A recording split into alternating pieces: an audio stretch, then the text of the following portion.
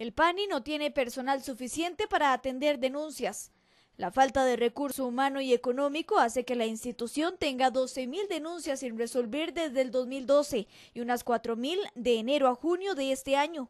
Un informe de la Contraloría General de la República dice que la atención en las oficinas locales no es suficiente ni oportuna y el PANI responde que solo tiene 41 sedes para atender los 81 cantones. Eh, nosotros tenemos, eh, sí, un, un 30% de denuncias que no hemos podido atender porque realmente nuestras oficinas locales son 41, nuestros cantones son 81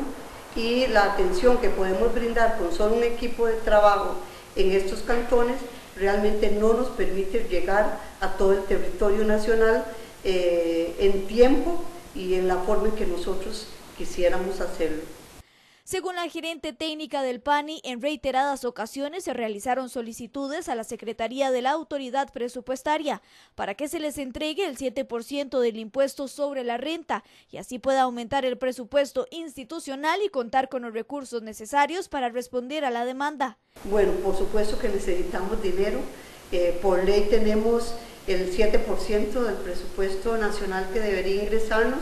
Sin embargo, eh, ganamos un recurso de amparo, hay un contencioso que está por resolverse, en donde se demuestra, eh, inclusive por las autoridades eh, judiciales de este país, que el PANI requiere ese servicio. El problema es que parece que la niñez y la adolescencia no son realmente una prioridad